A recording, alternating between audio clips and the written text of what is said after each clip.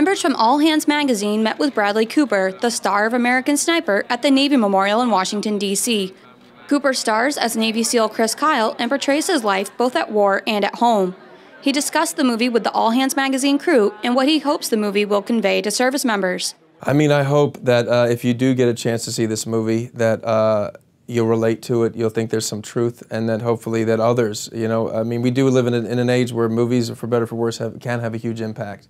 And if some people can understand that the sacrifice uh, of a warrior, of someone who decides to give up their life for their country, what that actually means on a day-to-day level, not only for them, but for their families.